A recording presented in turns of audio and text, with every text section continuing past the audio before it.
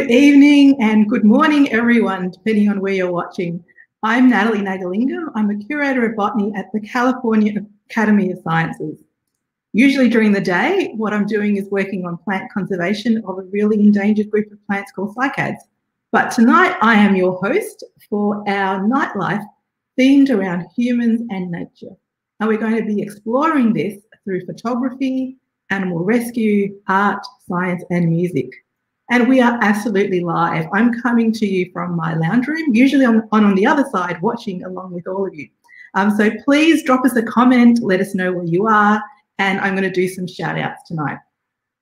So tonight is the taster of a live stream that we're going to do on Tuesday, the 22nd of September at 5 p.m. Pacific time. We're going to be on YouTube and Facebook, just like tonight. And we're going to be featuring the Big Picture Photography Competition. And you can check out the photos on bigpicturecompetition.org.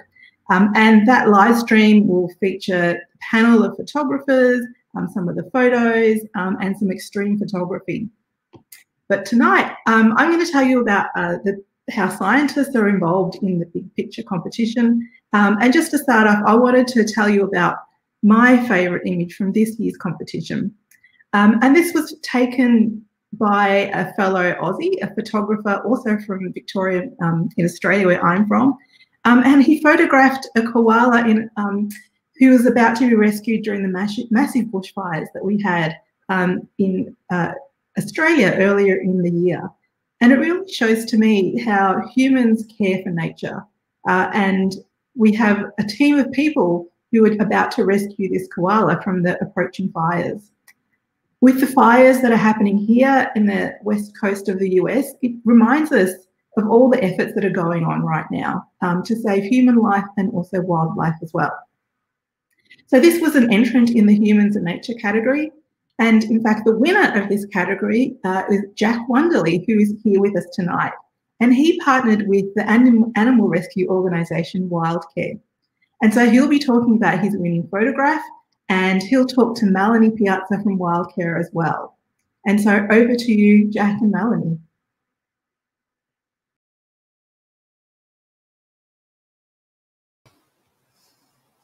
Thank you, Nathalie. I I um I love that koala photo as well, and it's so timely with what's going on with the fires.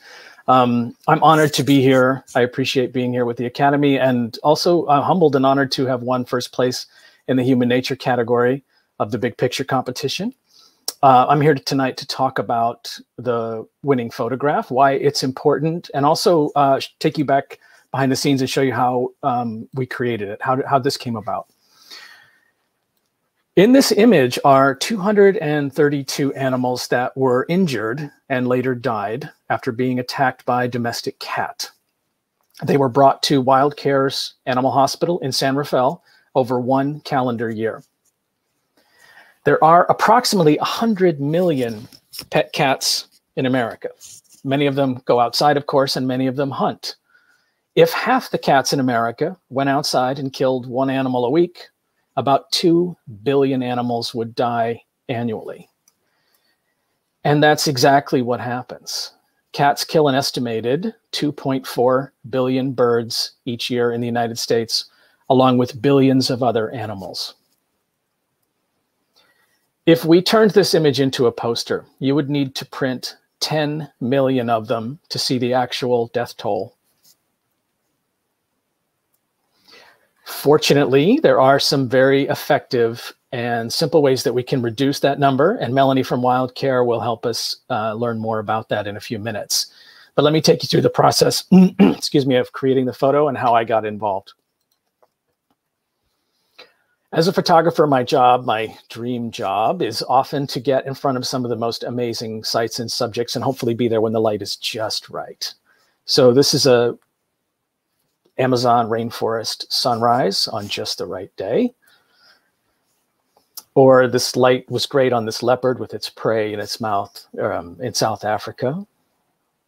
Sometimes I have to bring a little bit of equipment with me. So this pangolin I photographed for Wild Wonders of China was using an external light we took lights all the way to Singapore for that.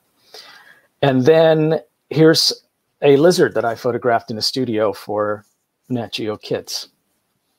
Or here's a snow leopard cub that I photographed to raise money for conservation. when we get into this subject of cats, house cats killing animals, um, I, I've been accused along the way of um, being anti-cat. That is not at all the case. I can assure you, I'm a cat fanatic. Um, sometimes the subject matter, though, isn't as beautiful uh, when it starts out as the images that I've just showed you, and it's my job to dig deep into the photographer's bag of tricks and try to make some art out of what I have to work with. So when I heard my friends at Wildcare were looking for a photographer to take photos of a couple hundred frozen, maimed, and deceased animals, I thought, wow, this is a um, this is a fantastic creative challenge. On Sundays, I volunteer with my daughter at another wildlife rescue in Sonoma County, and part of our work there is helping care for a group of domestic animals. They have uh, sheep, goats, chickens, and even house cats. And we use those animals and their enclosures to teach the public about how to protect your pets from wildlife, but also how to protect wildlife from your pets. So I was unaware of the staggering numbers that are created by cat predation when I first talked to Wildcare, but the issue of cats killing birds and other animals was something that I was already aware of. And having had the chance to travel abroad and cover some conservation issues, I learned that wildlife conflict is generally the same everywhere you go. It simply comes down to being savvy about how our choices impact the environment and the other animals around us. The photo shoot itself was Wildcare's idea. They get credit for organizing this um, and realizing that the subject matter that we're talking about was lacking of uh, imagery. We needed to put faces and some numbers to um, give perspective to the subject matter. My job was to figure out how to take a photo that was compelling and wouldn't cause revulsion and would stir up some conversation. So the day before the photo shoot, um, Melanie and Wildcare retrieved all the animals. They removed them from their tiny body bags and started thawing them out. They're not pretty when they're frozen. Um, I can assure you that it's it wouldn't have been a good photo if we had photographed them that way. All the animals were brought to the museum at Wildcare, and we cleared the space and got to work. Our time was limited as the animals needed to thaw to the point of being soft and like like lifelike, but not completely warm and limp, or they would start bleeding and losing fluids. Um, Melanie, who cared for many of these animals when they came in, had to, you know, in some cases triage them all over again. She had to bandage them up and and um, make them look as best that she could. And she became mortician and groomed the animals uh, literally like one by one for hours and tried to make them look their best. We wanted them to look lifelike. So the reason we're trying to do this is to, um, once they're defrosted, you get them to look in a more natural way to show their true beauty, um, and also to hopefully get people to connect with the birds. If you just see a frozen blob, you're not going to connect or realize as much as when it actually looks like the robin that you might see in your backyard. they're just all beautiful animals, and it's harder to see, of course, when they're they're deceased and and defrosting. But so we want to make them look as as good as we can, so people really connect with the photo and the lives lost that we're talking about. From the photographic standpoint, I set out large white sheets on the floor. I mounted my camera to an overhead pole, which was connected on a Wi-Fi signal to a tablet so that I could control the camera without having to reach or try to get over the top of the animals. Um, and then I put up some very large studio lights. And then I got to work putting the animals on the floor. I had brainstormed ideas for weeks beforehand, and I knew what I wanted. I was trying to get some symmetry, but keep it organic. I wanted rows, but I didn't want it to be rigid. And when I saw the orange wings on the northern flicker bird, I knew that I would start there. That photo needed a visual anchor point. It took many hours to arrange them on the floor, and as the animals thawed and started bleeding onto the white fabric, this was a one-shot deal. I couldn't rearrange the animals once we got going. The setup took about seven hours and photography took about two hours. Slide. Okay. In my time, this is the overhead camera view. In my time volunteering at Wildlife Rescue, I'd handled dead animals before, but I'd never, you know, been impacted by the sheer number and variety of animals like this. You know, there are There were Anna's hummingbirds, the hooded orioles, the golden crowned sparrow, purple finches, cedar waxwing, mourning doves, jackrabbit, hoary bats, voles. And knowing that they all died from the same cause, a largely preventable one, was um, very touching and sad.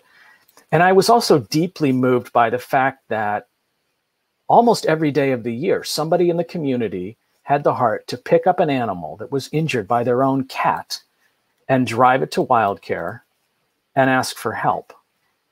And that's where Melanie comes in.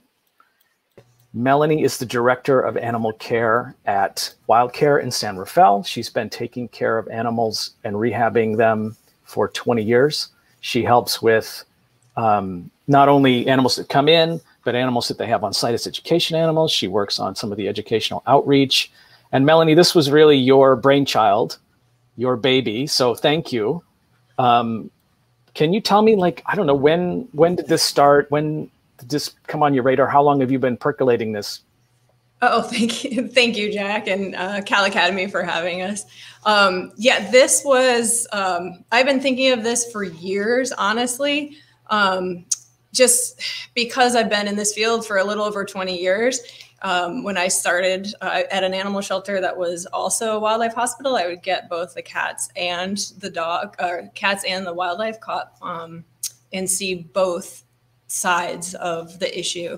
Mm-hmm. Um, and yeah, it's just been years of wanting to do something and knowing what I had in my mind, but not having the not having the equipment or the skill that obviously you have um, to make it be something that people would want to look at and that would be striking, like you've already explained, um, but mm-hmm. not revolting to people. We wanted to um, open discussions and get people to think of this and talk of this, talk about this topic, um, but not turn them away. And like you had mentioned, the same thing is very much one of my goals um, is to not have people feel like we're demonizing cats or cat owners. I too right. love I foster for many groups, um, and it's it's not about that. That it's about just getting people to cha- realize what's happening and learn that there are ways that they can change their behaviors to make a positive change.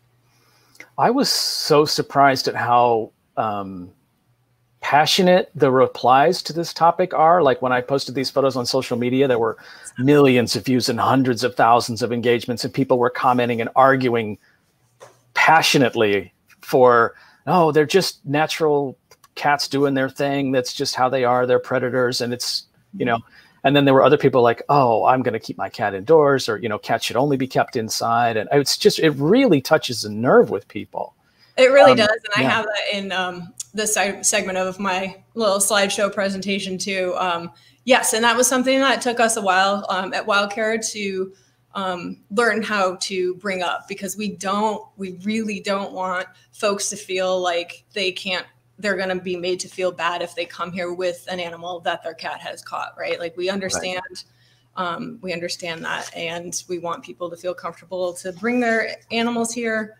Um, and yes, it does touch on a lot of nerves. We also got a lot of comments and arguments happening. And um, again, it's just a topic we would like for people to talk about um, and learn about um, and hopefully affect a positive change. When we were um, on the day of the photo shoot, you know, Wildcare, we we took over the museum. We made quite a mess in there with all of my gear, and then the actual setup and the tables full of the animals and everything. And some people walked in and were, you know, hey, what's going on? We had blocked off the area so we could work, but we they could see what we were doing or wondered what we were doing. Did there was somebody there that had you spoke to? Is that right? Yes, that to me um, was one of the most uh, rewarding parts of this, the starting this project, because I've been telling my coworkers, my family, and people about this project that I've wanted to do for years, especially when we finally started collecting all of the bodies in the freezer.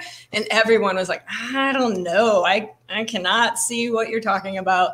Um, but that day when you were in the museum, that, that time lapse that you showed of laying down the bodies and seeing the sheer number, a woman and her husband were in the museum. This was pre COVID. So we had people mm-hmm. walking through the museum in the courtyard visiting. And she asked what we were doing and we explained it. And she was just like, wow, all of these animals just from this year just here just from cats like she was flabbergasted and, mm-hmm. and i said yeah and we explained it and she actually um, had two outdoor cats at the time and she purchased one of our bird our bird safe collars um, and then mm-hmm. also hired um, a gentleman that we recommend to build a catio and mm-hmm. so just from coming in and seeing the the carnage um, firsthand uh, she changed just right there on the spot and now her cats are indoor cats with with a catio and so that was shocking and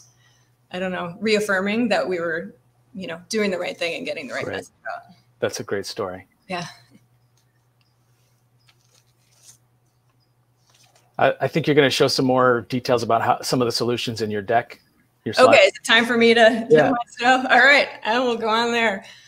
Um, there we go. Okay. Um, so, for those of you who are not local, WildCare is a nonprofit wildlife rehabilitation hospital um, based in San Rafael, California, which is just north of the Golden Gate Bridge. And we um, have nature education programs um, where we used to take kids out for hikes and um, do school programs. Again, COVID has put a kibosh on that, but we now have fantastic virtual online education programs. Um, we have a wildlife solution service to help people humanely deal with wildlife conflict. Uh, we also have a Hungry Owl Project where we sell barn owl boxes and bat boxes um, and different programs like that. So um, let's see. In our hospital, we are a nonprofit. We don't get state or federal funding. We're run with uh, donations and money that we earn from grants and different fundraisers, um, and also running our education programs. Um, we have a staff of only 25, and we have a volunteer staff of over 230. Um, again, COVID has cut that a lot right now, and we're learning how to deal um, with a lot fewer um, hands to help on site. Um, so my job in the wildlife hospital, uh, as Jak talked about earlier, uh, we treat between three and around 3,000 animals, injured and orphaned wild animals a year that are brought to our hospital um, that we treat for release back into the wild. So only wild animals, no domestics or exotics. Um, the patients are brought to us from the public or our animal control officers, and they come to us because of usually negative human interaction, not always intentional. So, like hit by car, somebody cuts down a tree, didn't realize there was a nest of baby squirrels in it, um, or of course, caught by cat, which is what we're talking about today. These are some baby scrub jays um, for those of you who aren't in California. um, and for the photo that we Jak did, um, there were 321 caught by cat patients brought to our hospital um, in 2019. Only 89 survived despite our best efforts. So the photo um, that Jak has is of the 232 deceased. Um, and let's see, we can't explain. I can't explain how defeating it is to have these animals come in day after day after day in my hands, the suffering and the carnage to try to fix them with uh, something Jak already said was something that's completely preventable. So that was again my motivation um, for this, for getting this um, information out to people um, in a way that is not as gory as reality, um, but a way that again will touch the heartstrings and get people to realize there's a different way to um, affect change. Um, so our photo again is just one year just at our hospital. So again, Jak said some staggering numbers, and it is pretty impressive. Um, that is um, to think of what's happening across the country, not just here at WildCare. Um, it's very important to note, we've said it twice, both of us, um, that it is, this is not to demonize cat or cat owners. This is a photo of me with three of my foster kittens from Kitty Cafe uh, Rescue in San Francisco this summer. I foster for numerous rescue groups. I've never not had a cat since I was five. Um, I We love cats. Um, again, it's just, um, learning a new way to do things. So growing up, our cats were always indoor, outdoor. We had no idea that you should keep them inside. We spent, my sister and I spent our summers collecting tail feathers and skulls, um, and it didn't occur to us to keep the the, uh, the cats inside. Um, we lost two cats were hit by car. Um, and again, it still didn't occur to us to keep cats in ties. It's just not how you did it back then. Um, but the tides are changing, um, and I think people are really realizing it's not just for the wildlife; it's also for the cats. You, they live longer, healthier lives, not getting hit by cars, not getting in fights. Um, um, so sorry, what else was I? So what solidified it for me, I knew this, started working at a wildlife hospital, um, seeing this information, but really solidified it was learning the predator prey situation. Everybody always says, well, cats are natural predators. It's fine. They should be able to kill the wildlife and they shouldn't make it if they got killed. It's really not. Um, in in the wild, the prey predators, uh, the prey species, let's say rabbits, and predators, we have hawks. One season, there'll be a bunch of rabbits and a huge population. So the hawks will have a lot to eat. They'll um, breed a lot and have a lot of babies. They'll be very successful. They'll eat more rabbits. The rabbit numbers will go down. Um, the hawks will eventually have to leave and find new territories. Um, and while they're gone or starved because there's not enough food, that gives the rabbit population time to come up and that's natural. It's always ebbing and flowing with the predator and prey. Um, but you introduce cats, and cats are a constant. They're in the same territory for like 20 years, and more just keep getting added. They domestics and wildlife don't co-evolve together. That would that takes hundreds of years, and they don't have the same pressures on them as the wildlife does. Um, so once I realized that it's not actually natural, um, that was kind of the nail in the coffin for me to realize I needed. Um, needed to get into this full force. Um, so my cats are all house cats now. Um, so solutions. So I want to run through some solutions really quick for you guys. Um, I know not all the solutions are work for everybody, um, but uh, keeping your cats indoors like these guys here is obviously the easiest. But a lot of cats can't be kept indoors. They will tear the place up. Um, they're feral and wild. So in that situation, this is my kitty. This is Katie on a harness and a leash. You can harness and leash um, certain cats. For those who just absolutely have to go outside because they're tearing out your house, there are these bird be safe collars, which sometimes can work. They're better than nothing. Um, and uh, one thing I wanted to say with that is bells don't work. Um, so bells are a problem because cats learn how to walk without ringing them. And then if you have a baby like this little fledgling robin, they can't fly yet. So even if they hear the cat coming, they still can't get away. So um, bells are not usually um, a good solution or not a good solution. But um, the other thing you can think about is only letting your cat out, um, not at the busiest time. So dawn and dusk is when wildlife is most busy, especially in the spring and summer during baby season. So keeping them in during those times. And if you have a nest of any babies that you know are active, you just can't let them out during that time. And then my favorite and final solution is the catio. This is a photo of my house with my catio and my spoiled cat. Um, catios are fantastic. She has a little doggy door from the garage that she can come in and out as much as she wants. Um, and you can have one as small as a window box or as large as this. You're only limited by your um, finances and your creations um, and your space. So um, those are all different solutions that people can work on uh, to keep the animals, the wildlife safe, and the cats as well. Um, and one last note as I um, as I finish up is I just like to tell people that again this took a this is an evolution for myself over years as well. It's not we know it's not going to be an overnight change. We just want people to know there's things that they can do to help. And then if this particular cat you have right now isn't one that you can make an indoor cat, then the next one, um, hopefully that you can. Um, and again, is to keep not just the wildlife safe, but also your cats to live longer. And I think that that is all that I have.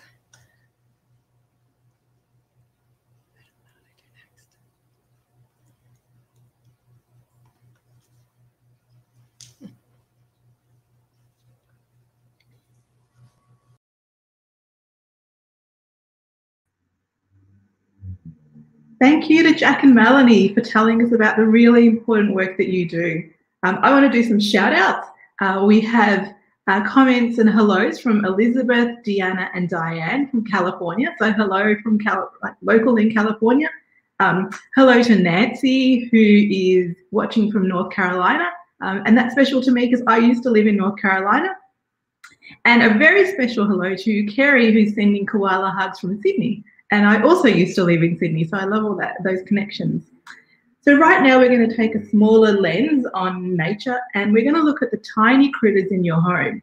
Uh, and the person who's going to lead us is Academy scientist and curator of entomology, Dr. Michelle Trautwein. As a botanist, I never really thought about the insects in my house's biodiversity But Michelle is going to convince you about the nature in your home. So over to you, Michelle.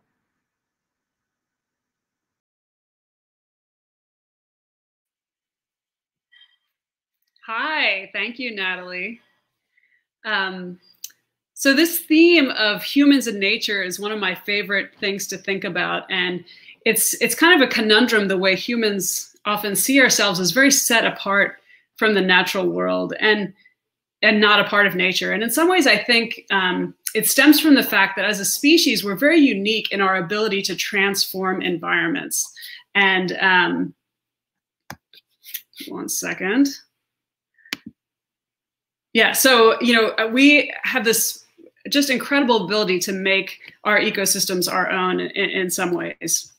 Um, and our houses are a part of that. So humans have been building houses for just about 20,000 years, which is actually relatively recent in our evolutionary history.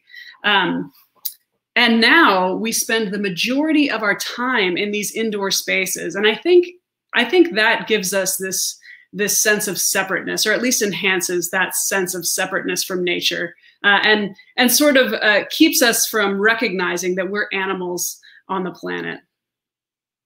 But of course, we aren't separate from nature, uh, and the arthropods in our daily lives are a reminder of that. So arthropods are insects and their relatives. So insects and spiders and millipedes and centipedes and anything with an exoskeleton and a lot of legs. And so for the past eight years or so, I've been studying the diversity of arthropods in houses all over the world. And I think when most people think about the bugs they may find in their house, they think about the pest species like cockroaches and termites. Um, but the truth is, there's actually tens of millions of arthropod species on the planet. Um, many of them find their way into your house, and the vast, vast majority of them are not pest species at all. So, in my research, I like to focus on this human arthropod interface uh, that largely goes unrecognized by humans.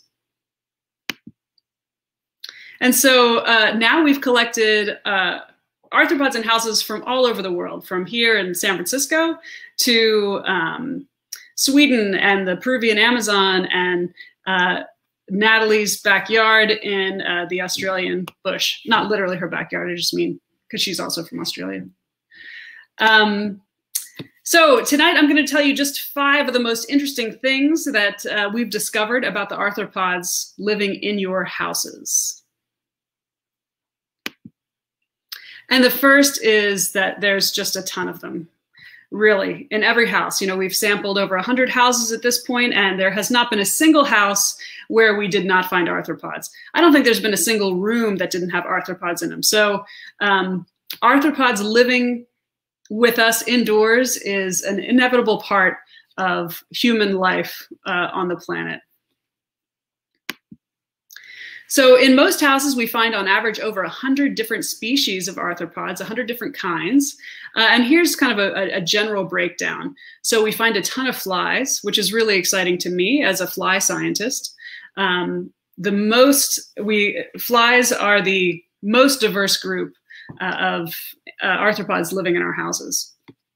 Next, we find a lot of spiders, a lot of beetles, including carpet beetles that's shown here uh, a lot of ants and wasps, mostly tiny wasps, and then a whole wide array of, of other types of arthropods. But what you'll notice here is there's not a lot of really obvious pest species.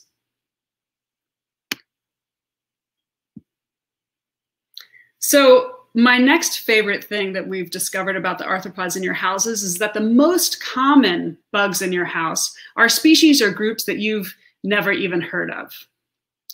And that's exciting to me because people, uh, I think, generally have a negative opinion of the arthropods in their houses. Um, and at the same time, they don't even know they don't even know which creatures are are living there and, and probably haven't even noticed the most common ones uh, so for example uh, the, here's eight of the most common things found in in houses and this is in the us although these groups are found uh, globally um, and the first one is a, a pictured there uh, to the upper upper oh you can see my mouse good okay.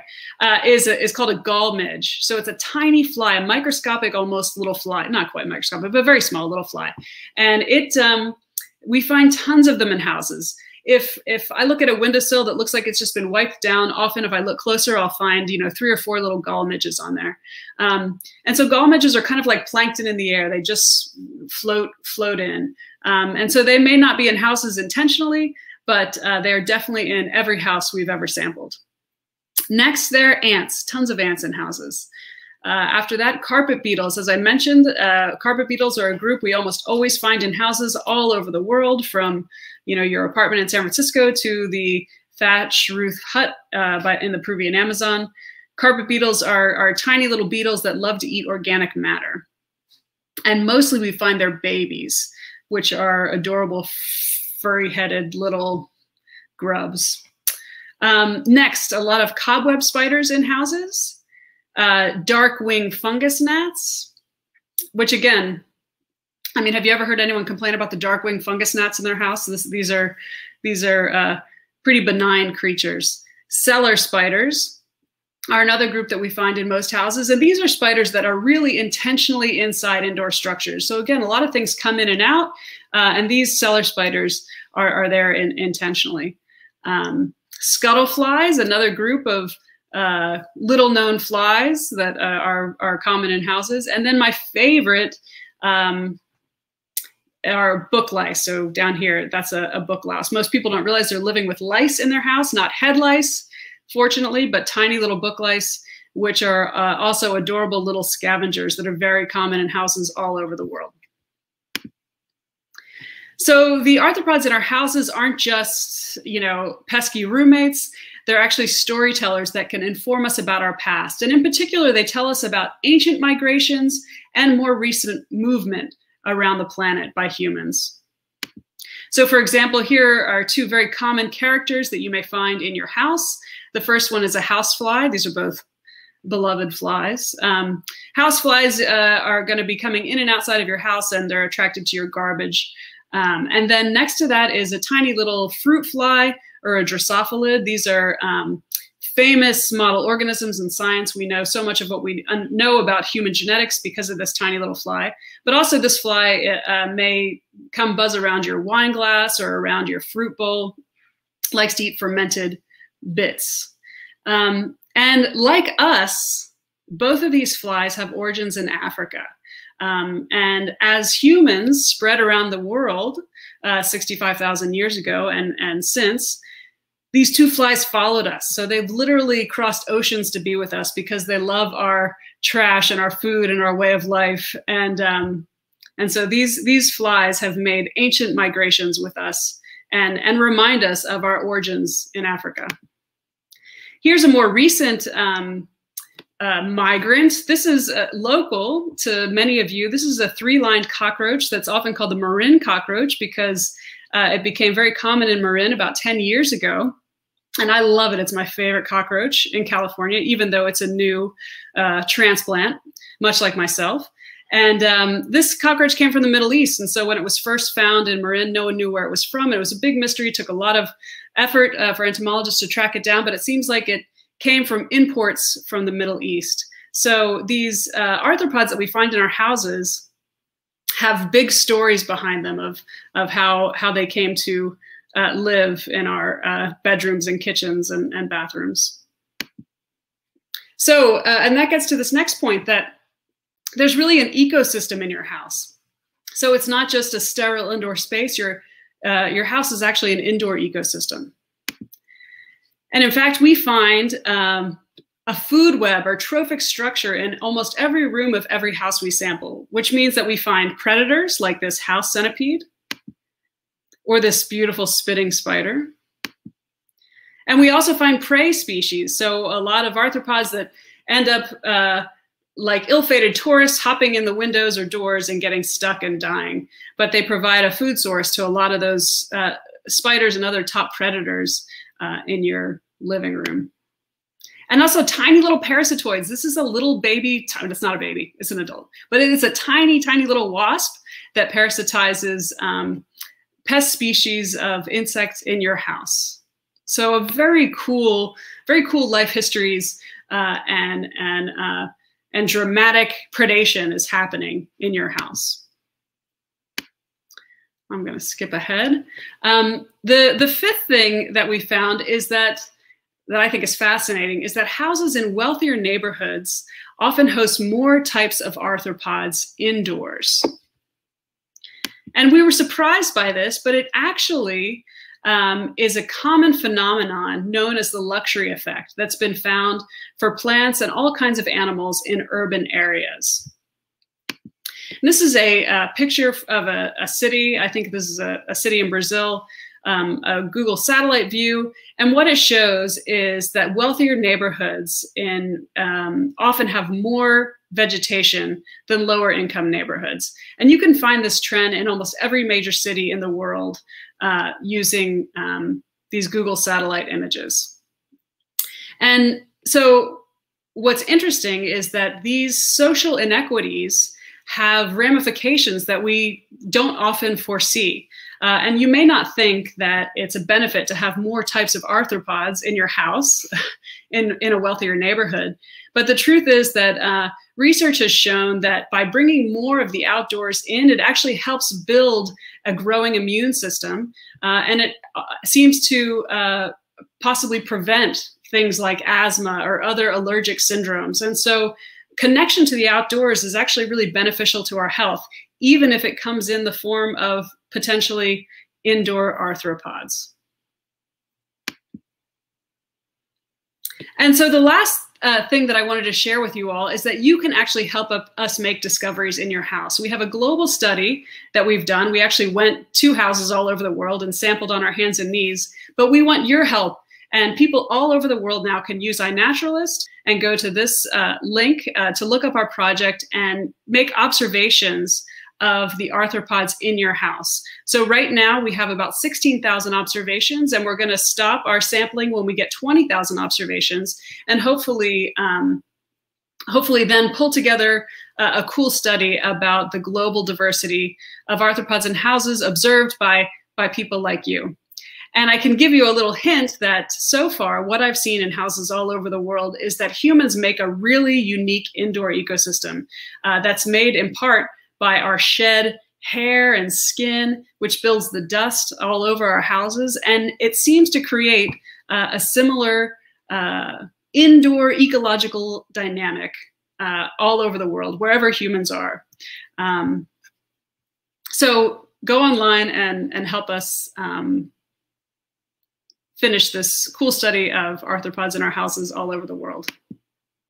And here is the team of people that have helped me pull together this research over the years, um, which has been a, a, a long indoor global adventure. And that's it for me. Thank you all for, for watching and thinking about the ways that humans are, are still connected to nature.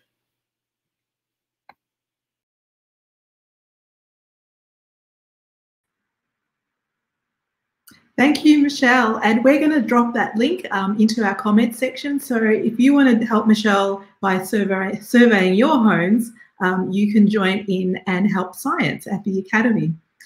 We want to give a shout out to Jean, who, um, who could be part of Michelle's study, who told us that their eight-year-old just realized that her mystery bug was, um, in fact, a carpet beetle. But before tonight, had just decided um, or named them a rug bug. And so we're really excited that you've learned something tonight um, and have found a name for your mystery bug. So hello to Jean. Um, and please keep giving us shout outs in the comments. We love to know where you're watching from um, and we want, want to know about your exciting discoveries through tonight. If you want to learn more about Michelle's work, there's a breakfast club that Michelle did a few weeks ago um, and there's also her lab website called flylogeny.com. Um, there's links to her uh, appearance on PBS, a TV show called Nova, and to Science Friday. And you can learn about the nature on your body, which is in fact face mites, another really fascinating area of research that Michelle does. So next, I want to introduce someone that I'm very excited to uh, see. And I've been following her on Instagram for quite a while as Inkdwell. And this is Jane Kim, and she nailed science, art, and nature. Um, and her work is absolutely stunning. She does indoor murals um, and outdoor murals, And tonight she's going to tell us about a mural that she did in San Francisco about monarch butterflies. Over to you, Jane. Thank you.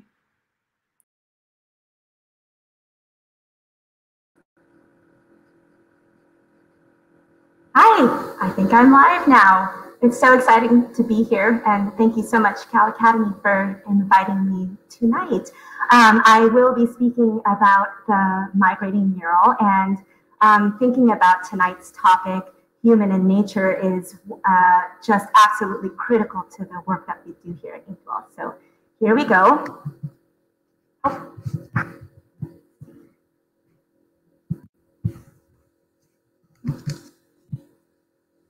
All right, I'm starting off with this slide. Um, cliche tea bag quotes are not how I normally navigate life, but when I began thinking about tonight's topic, human nature, this quote absolutely came to mind. Um, and it says, the difference between a flower and a weed is a judgment. And when I reflect on the question, are humans a part of or separate from nature? It often feels like the answer is the same. Um, I think it depends on how you look at it, and how you look at it often shapes your actions. And personally, I absolutely believe that we are a part of nature and that we can live fully connected to it. And uh, I have devoted my art practice to creating public art that explores the wonders of the natural world. Um, and I hope that my work helps humanity form a deeper connection and understanding to nature, and in doing so, um, help us to better understand ourselves. Uh, tonight, I will quickly share on an ongoing Inkdwell public art project called the Migrating Mural. And the Migrating Mural is a series of art installations painted along migration corridors they share with people. Um, it began with the Sierra Nevada bighorn sheep, and during this project, we created six unique murals along Highway 395 in the Eastern Sierra, from Lee Vining to 100 mile, 125 miles south to Lone Pine to bring attention to an elusive animal nearly driven to extinction in the 90s uh, because of disease spread by domestic sheep. Um, but fortunately today, the population has been recovered to about 600 sheep. And here is the first mural painted in the series. And this one still means so much to me for a number of reasons. But one of the most meaningful memories uh, was getting a phone call from a resident in her 60s who had lived in Independence her entire life and said that she never knew bighorn sheep lived in this mountain range until this mural. Um, so that impact that um, public art can have in just, just helping opening uh, someone's eyes to what's in their surrounding environment is uh, something I hope that the Migrating Mural will continue to do. Oh, by the way, I am keeping track of um, comments that come in. So if there is a question or if I or see something pop up, I'm more than happy to, to sidetrack and, and answer. So our next um, species that we're highlighting focuses on the mon monarch butterfly, and we began this uh, project in 2017. Um, like the Sierra bighorn, monarchs are facing a very similar path towards extinction. Um, and one of the reasons we chose the monarch butterfly as our next subject is because people can actually easily make a big and direct impact on monarch um, populations by planting native nectar producing plants in their gardens. So it was something that I felt we could really easily all collectively do. And if I can bring beautiful, wondrous imagery that gets people excited about butterflies, um, perhaps that they will be inspired to then do something to, to help these animals. Um, and with each mural, uh, many of our partners have made an effort to create habitat for monarchs. I'm just going to quickly run through some of the uh, murals from this project. This is in Springdale, Arkansas. This mural is called Kaleidoscope. Um, it is painted at Springdale's regional airport, and it has a sort of an infinity of butterflies um, spiraling around um, a, a a caterpillar um, eating on their host plant milkweed, um, and in this case, the common milkweed. And once again, uh, one of the cool things about this project was being able to collaborate and partner with conservation organizations. So there's a great group called Springdale from uh, Monarchs for Springdale, um, and they plant wayfinding stations all throughout the city. And this one happened to have an elementary school across from the airport that uh, had a way station there. So um, bringing this mural to that particular location was really special. Following this mural was in um, in Arkansas, was in Florida. This is in uh, Winter Park. Sorry, just had a little moment there. Winter Park, Florida, at Sail University. Um, this piece is uh, called Milkweed Galaxy, um, and I, I, called it that because while I was standing next to this giant uh, milkweed, it just really felt like an entire universe um, could be explored uh, just in this milkweed itself. Um, I have a question here. Have you ever used recycled salvage materials in your art? Yes, I actually have. Um, I was really proud to be a artist in residence at San Francisco's Recology in 2009. And at that time, I was actually using uh, construct, construction scrap like drywall to paint on. So thank you, Elizabeth Cass, for that question. Um, and once again, our uh, Full Sail partners planted, um, I think you might be able to see in this picture, just some young milkweed starting to grow in their garden. And they, they completely took out the hedges that were there and replaced it with, uh, with milkweed. Our next mural was also in Florida, but this time in Orlando, just a neighboring um, major city. And uh, this is right in the downtown area across from their civic center. This piece, piece is called Midnight Dream.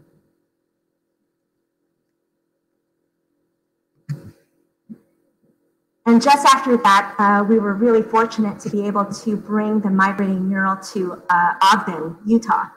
And we actually did three unique installations there. I'm only actually going to share two today, but um, that was quite a special uh, way to be able to create a story around monarch butterflies and um, art history. This was for their Nine Rails Creative Art District, um, and it's influenced by a movement in the 60s called op art. Um, I really love the graphic quality of the wings and the butterfly and the spots, and you know, just wanted to make the butterflies otherworldly and um, bring out the graphic and, and beautiful uh, colors and, and patterns of the monarch butterfly. Also in Ogden at Weber State University was um, a piece called Generations for their, their college um, in the art department. Um, and this piece was, was really to celebrate scientific illustration, which is uh, one of my backgrounds. Um, I have a BFA in printmaking um, and also a degree in science illustration. Um, and I was so proud to work with Weber State. And in the following years, they ended up planting two acres of milkweed on their campus, which is just one of the most incredible things that we could have seen happen uh, with this project. So thank you, Weber State, for giving so much habitat to not only monarchs, but all kinds of pollinators and insects. And finally, um, I'm skipping ahead to our murals here in San Francisco um, which of course has become one of the most meaningful uh, murals to date, not only because this is where I live, but it allowed me to expand a little bit on the story outside of monarch butterflies to really talk about um, butterflies of San Francisco. So this is located uh, on, I'm sorry, on Howard Street between 5th and 6th. And this piece is called Our Families. And here on California Phacelia, which is of course a, a native nectar producing plant, um, are the five different families that you can find here. We've got the skippers on the top left, we got the whites on the bottom, we got brush-footed butterflies in the middle, which is the monarch. Uh, we have the um, the gossamer winged butterfly represented by the green hair streak, and uh, the swallowtails, which is represented here by um, the pipevine swallowtail.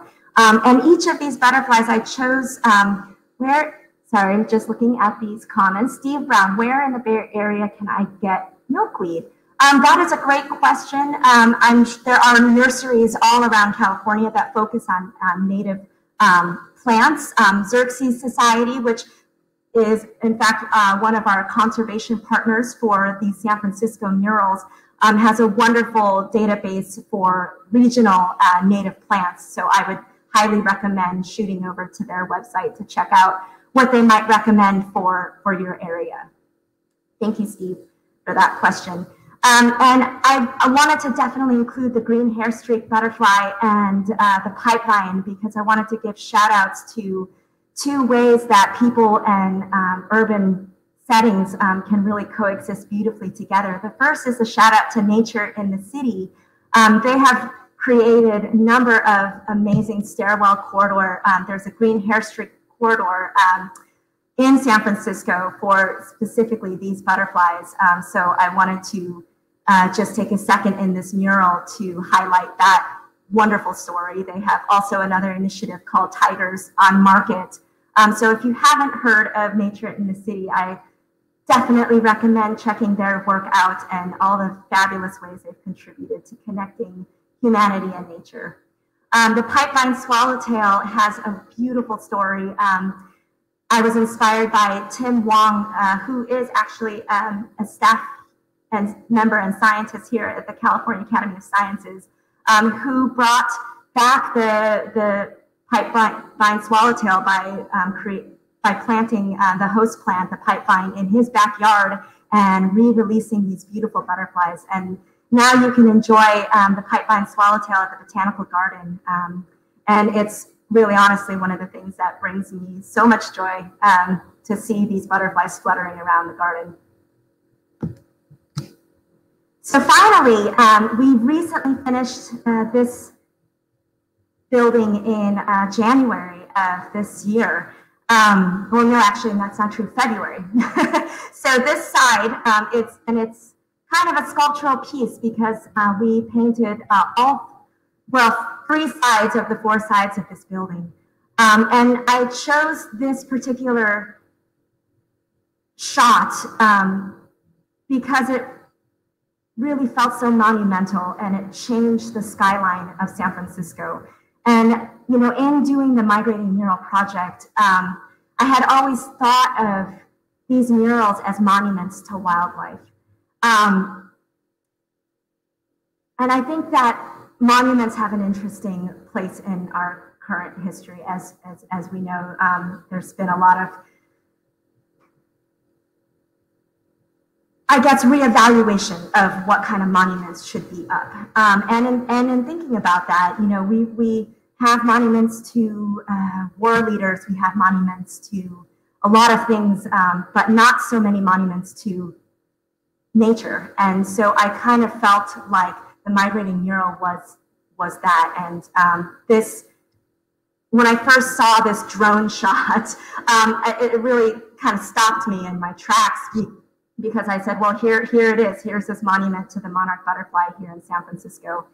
And on the other side of that building, again, we represented um, all five families of uh, San Francisco butterflies. And in it, you'll see there is one butterfly that no, you can no longer see here in San Francisco. Um, it's the Xerces blue. And this is the namesake butterfly for the Xerces um, organization. And uh, I think that that is a poignant story, especially for, for this building. Um, one of the things that I wanted to do in this particular project was to really highlight the architecture. And I was thinking about the Victorian architecture that is iconic to San Francisco and thinking about the Victorian era and the collecting in the Victorian era of butterflies and, and what that meant today and our impact that we had during that time period of you know how we valued and saw nature as just these sort of collectible items um, and hoping that we can somehow move away from that and so to like once again inspired by the sort of victorian um, storyline uh, the interior of the, the residence archway is now flanked with all 34 butterflies of San Francisco that you might be able to observe today. Here is the left and the right side.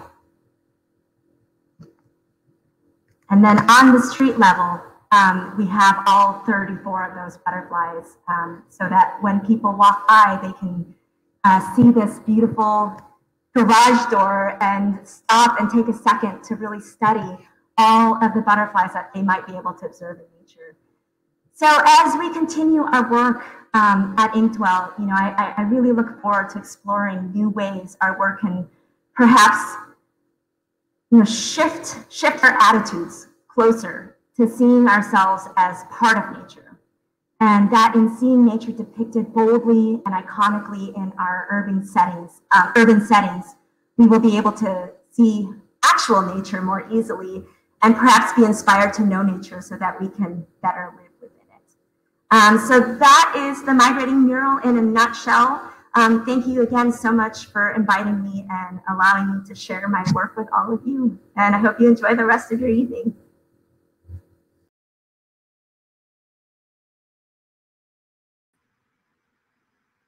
Thank you so much, Jane. And please do follow her on Instagram as Inkdwell. Um, I guarantee you will love seeing all her images. So you can also help nature by planting native plants. And Teresa let us know that the California Native Plant Society sales are coming up soon. So you can plant some native plants to help uh, the butterflies and nature around you. Um, and I love that we have our collective um, mind helping us with all of these um, issue, issues and letting us know what's happening um, all around us.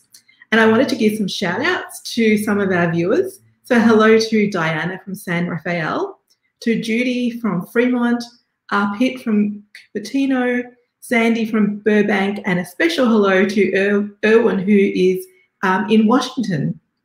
So another person to follow on Instagram is Gab Mejia. Gab is a conservationist, a photographer, a National Geographic explorer, and most excitingly for us, I don't know if that's a word, excitingly, um, he is our first ever international guest. And he's going to tell us about conservation of wetlands in his home country in the Philippines. Thank you, Gab.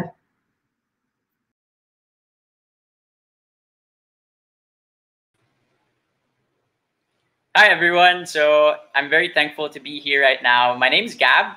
I'm 23 year old, 23 years old, and I'm a photographer and a conservation photographer working on stories about nature, the environment, and all, especially the vulnerable communities and people who are affected most by these changes happening in our environment. So today I'll be talking about actually a very store, a close story to my heart which is about a place, the largest wetland in the Philippines, called the Agusan Marshlands, found in Agusan in the south of southern region of the Philippines.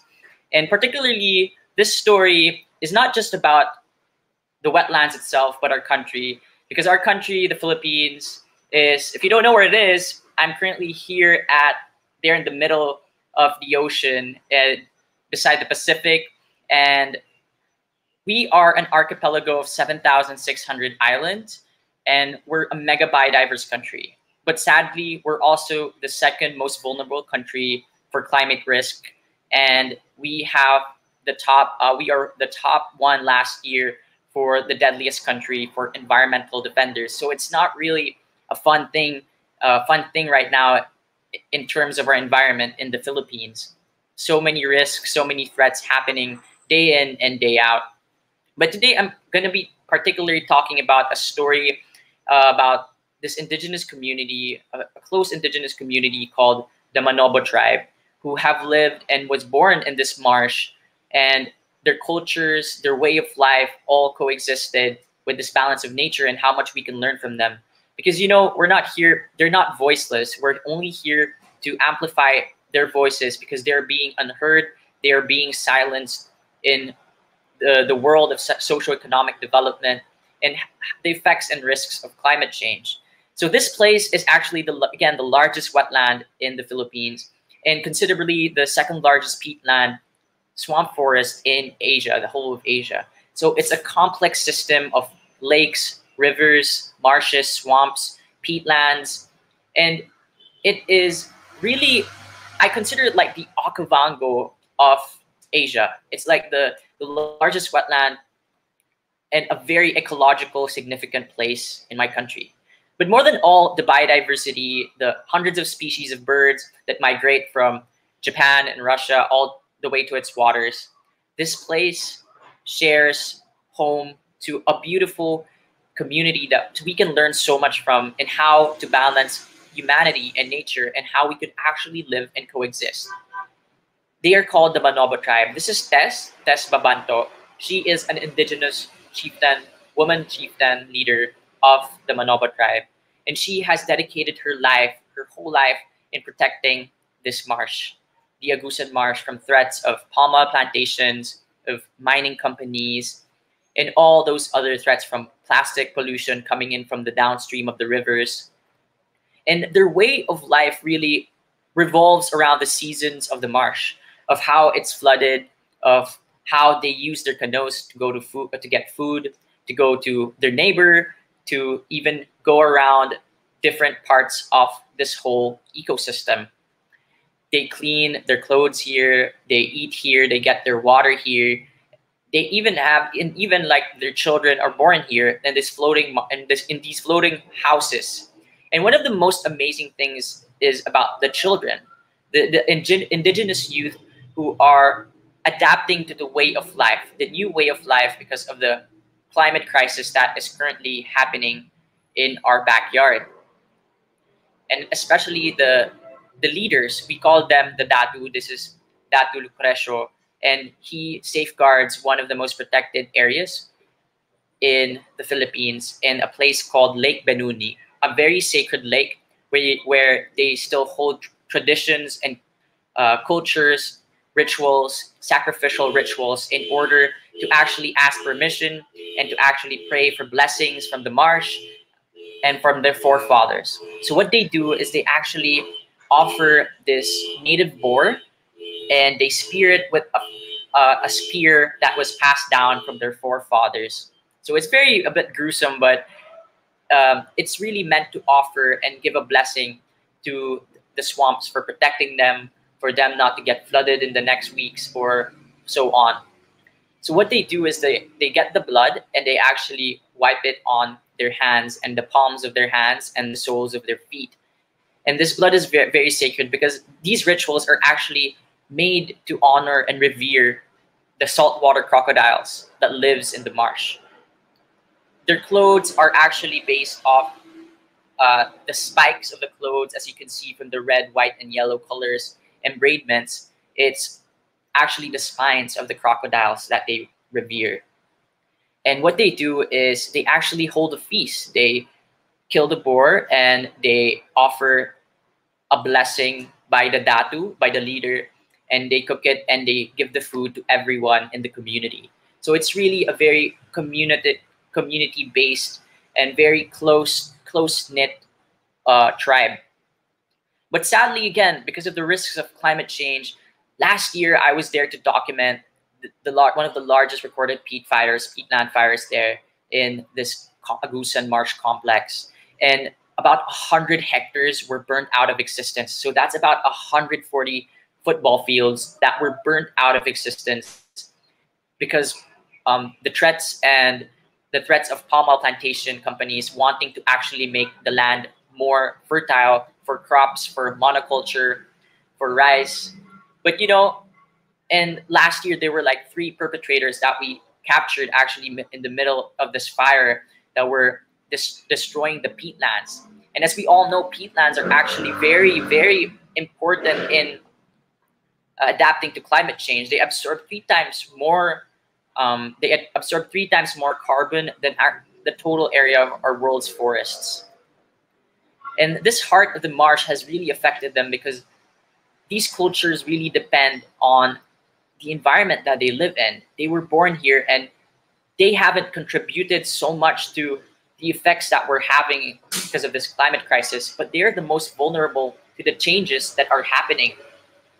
And last year also, there was a huge drought that happened, uh, causing the weather patterns to change and no rain would fall within one, a month and causing the whole landscape to change into a dry land, leaving their culture, leaving the canoes, the barotos in local language. And sadly, because of the droughts, the rivers are also changing. The tributaries, the lakes are drying up, causing major water hyacinth blooms, wherein it's so harder for the children, for the people to actually navigate now around the marsh. It would take them about four hours round trip just to get fresh, clean water for drinking.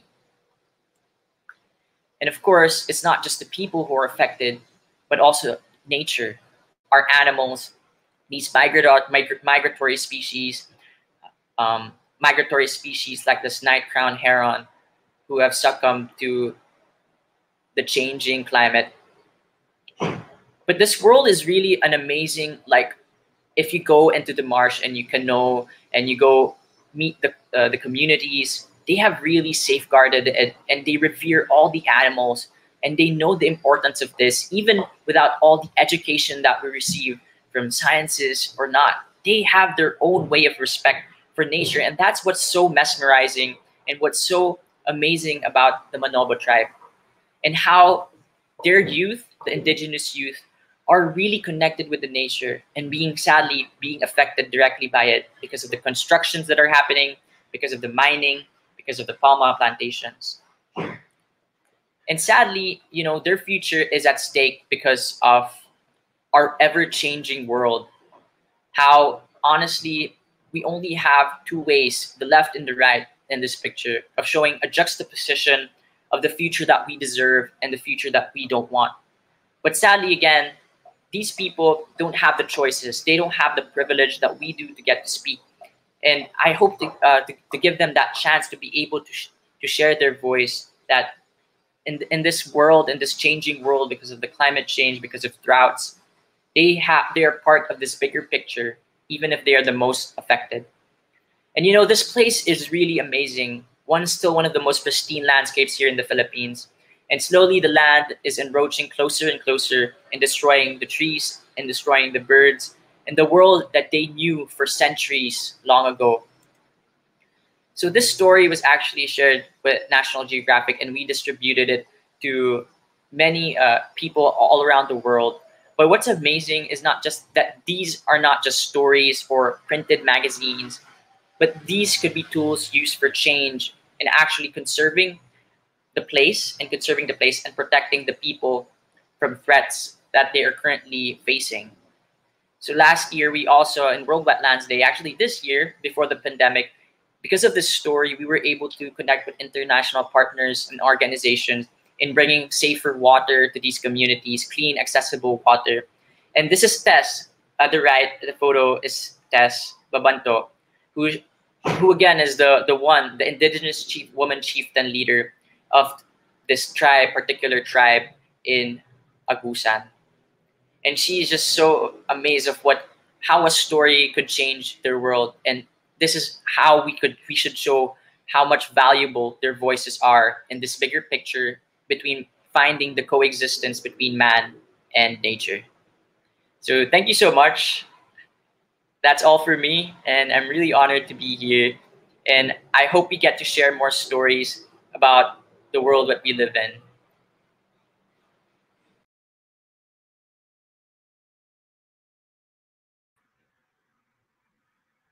Thank you so much to Gab, who came from us, I guess, from the future, who was talking um, in the he was talking from the Philippines, um, where it's Friday morning, um, and that was a really important topic where wetlands are often overlooked for conservation. So thank you, Gab. If you want to learn more about Gab's work, you can check out his website, um, and there's many more stunning photos that he's taken. Our final guest for tonight also has a Philippine connection.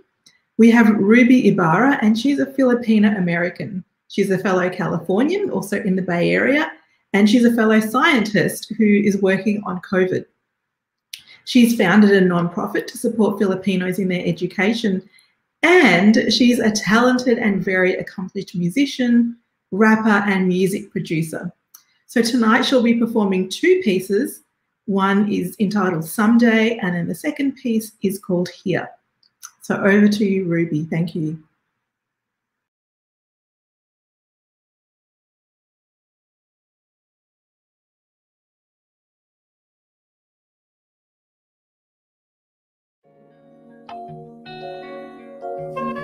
You're all watching the virtual nightlife, and my name is Ruby Ibarra.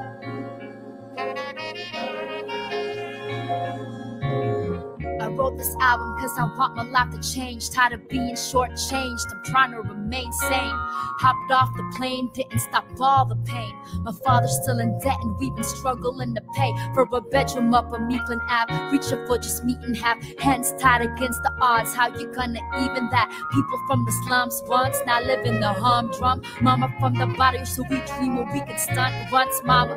I know it's gonna be fine wherever we go, cause we know your race is still a dream and be a hero. Was an ego to an eagle. I free flow when I speak though. My pipe dreams through people. My skin so Filipino.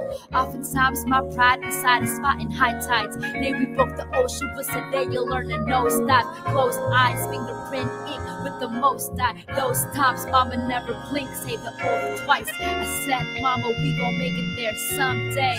Said, Mama, we gon' make it there someday. I said, Mama, we gon' make it there someday. I said, Mama, we gon' make it there someday. I said, Mama, we gon' make it here. Yeah, I said, Mama, we gon' make it here. Uh, I said, Mama, we gon' make it here. Yeah, I said, Mama, we gon' make it here and we gon' make it this day. I feel the sun's rays open up my eyes. I feel brave cause I once made a promise to myself that I'm a vessel. So it's one way that I'ma take up space until I'm done. Let the song play, my friends say unpaid. These days be the worst days. We pray, they lay more cases at a worse rate. Help us find a way. We rise up, carry this weight. Frontliners lead the way, and we thankful for the risks made. Worst case, fixed ways, fixed wage, days. But this case, fist race, Stock Logan City, birthplace, circa 91. Cause we immigrants in this place, gentrified, displaced, stayed alive in this race. Took a plane this way, across the ocean this wave, settled in the bay. So I hit him with this face. Grew up in a way that I knew myself. I can't wait for another day to rise up. We'll make it someday.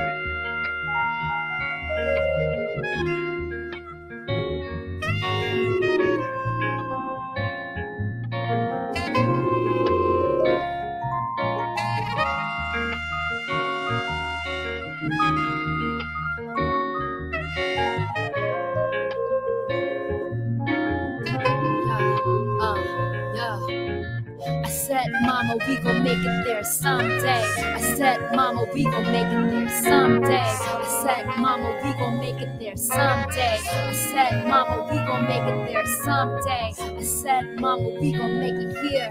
Yeah, I said, Mama, we gon' make it here. Uh, I said, Mama, we gon' make it here. Yeah, I said, Mama, we gon' make it here someday. My name is Ruby Ibarra. You're all watching the virtual nightlife at the California Academy of Sciences. The theme tonight is the relationship between human and nature. And it's more important than ever before to trust in the science. No need for introduction, you hear when you know rhinos dive into an era with a piece of lo-fi. Put my face in the books, my people are profiled. Erase from the books, and my people are told lies. Sky's the limit, go fly. Cali, me go high. I mean back in 05, but in you I grow wise. Surprise with growth thighs, double dose of broke lies. We in those sides to lose and hope it goes by. I got Bam to my left and Erica right. Here to giving you America like Erica right. Try to take my title, never will to inherit the rights. Ah, Tacloban City's finest. Put me on the five list, color up the lines, cause I color like your iris. Hunger in my eyes, just everything that I risk. Killer with my tongue, every time I spit a free. But the work is never done, and believe I'll never leave, cause I'm here. Get your hands in the air. Now the greatest is here. And I'ma make this my year. Cause I'm finally here. Yeah, yeah, I'm finally here. Yeah, yeah, I'm finally here. Yeah, yeah, I'm finally here. You call yourself a rapper, talk less and take notes. We slay sheep, respect those who praise, keep a next toe. Take piece of flex, throw finesse piece to bless those. Say peace, say chest, hope we say peace, but stay woke, leave your cat's face. To the point I catch praise, rhymes turn to catchphrase till it starts to cascade. Product of Mac Dre, Wu Tang, and Andre. Break beats and beat tapes, a break next, you press play. They say we from the slums where the heroes never won, but people always sung. Brown faces of the sun, still the Satan on my tongue.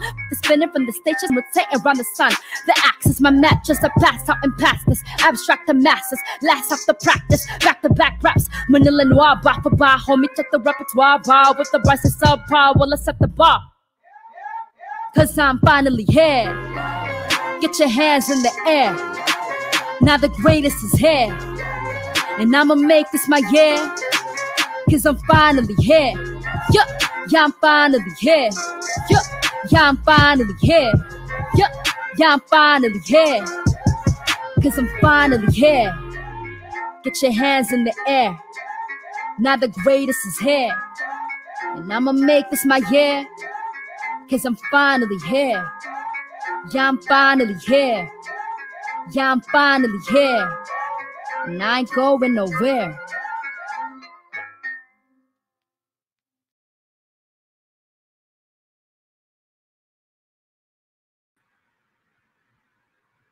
Thank you so much to Ruby. That was amazing. I want to do some final shout outs for the night. I want to say hello to Matt, who is watching from Berkeley, and a very special shout out to Aaron, who's a very dedicated viewer of all our Academy live streams. So thank you for joining us, Aaron. Thank you to all our guests tonight. We've had such a wonderful lineup, and I, I hope you've all learned so much. I also want to thank our behind the scenes people um, who are Christina and Lynn, who are working behind the scenes for, to get everything sorted out um, and who have arranged this amazing lineup. Thank you to all of you for joining us tonight. And by joining us, you're supporting the Cal Academy in our mission. Um, and this is really important since we've been closed since March. We know it's been really difficult times for all of you um, and for many of you. And so if it is possible, we would really appreciate a donation um, you can visit the CAS website, uh, calacademy.org, or look at a, a link in YouTube. You can continue supporting us by coming back to join us for our live stream next Tuesday. That's going to be the Big Picture Nature Photography live stream on Tuesday, September 22nd, 5 p.m. Pacific time. And next week for Nightlife, we're going to have a special night school and we're going to learn all about sea otters and the bay. We'll learn about the past and the future of sea otters in the bay and get a very special behind the scenes look at our scientific collections of mammals. Um, and not many people get to see that, so that's going to be very special. So thank you all and see you next time.